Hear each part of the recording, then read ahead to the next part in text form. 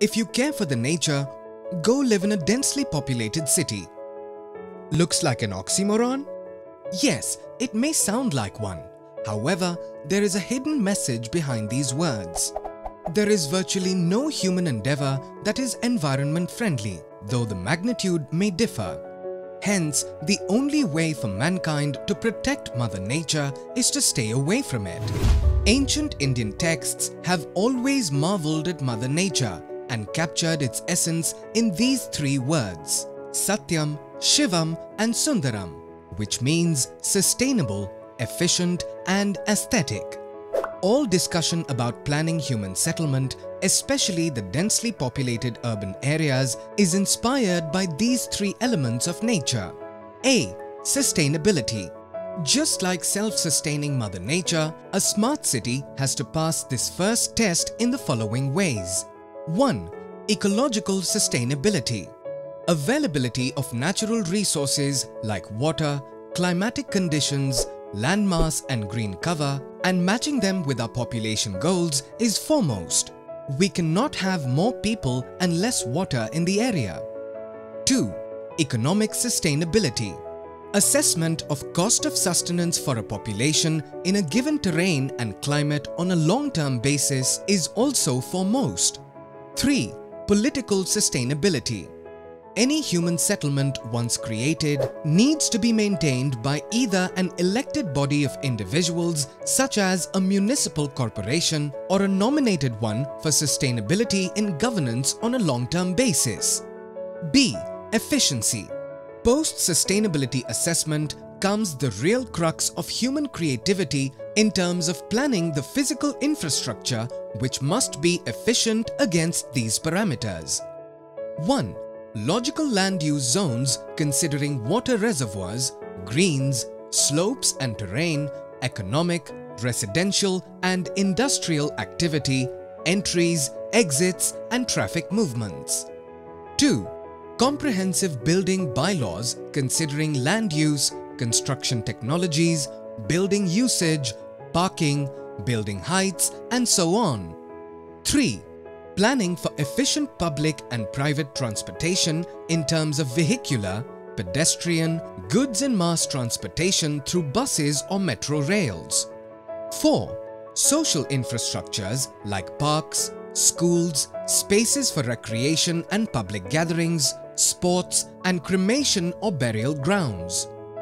5. Planning for public amenities such as electrical power, communication channels like data cables, mobile phone towers and similar services. 6. Providing healthcare spaces for both private and public health. 7. Installing efficient sewage and garbage disposal systems including waste recycling. 8. Planning socio-cultural centers such as stadiums, theatres, temples and similar places of worship. 9 providing municipal services such as registration of birth, death, marriage, property, regulating issuance of driving license and similar public offices. 10. Planning housing and care for animals whether domestic or wildlife around the area. 11. Installing essential services like law and order, public safety such as firefighting and disaster management. 12 providing administrative offices for governance of the city to house municipal or other public services officials. C. Aesthetic considerations. As inspired by Mother Nature, apart from sustainability and efficiency considerations, it is of paramount importance that a city, as we plan, must also look good and fit these aesthetic parameters.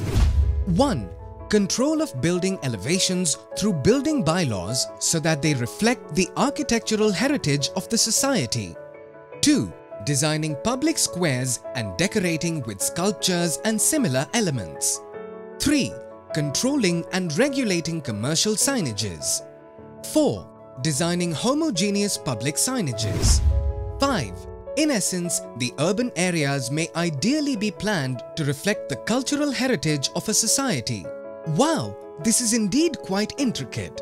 Urban planning seems to be a multifaceted discipline encompassing elements from arts, sciences, technology, culture and also management.